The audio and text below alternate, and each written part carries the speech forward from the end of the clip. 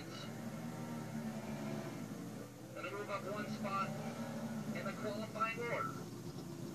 So Scott Parks and Brad Woodard are next pair. Woodard out of Oceanside.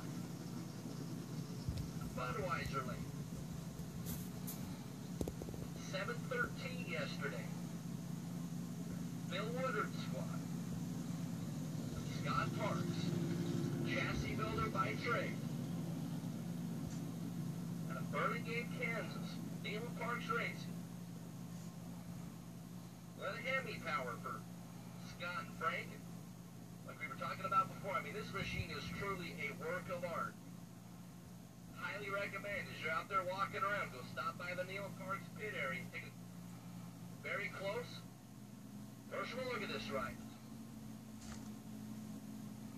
See Dad Frank out in front of Scott?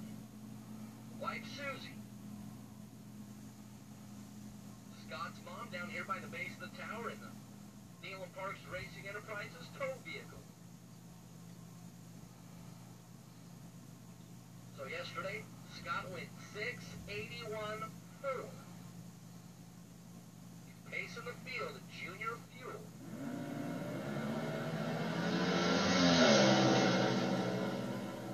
Green light start for both competitors. Parks just pulling away 6